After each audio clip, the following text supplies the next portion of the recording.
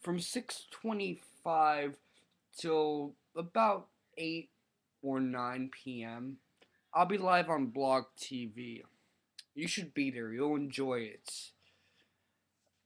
Now I'll cover more anarchist anti-statist positions, but since I still have some time before I broadcast, I'm going to fix the broadcast so the connection is a little better.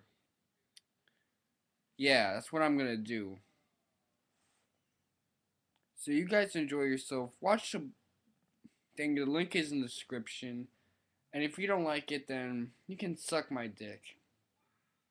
No, seriously, you can suck my dick.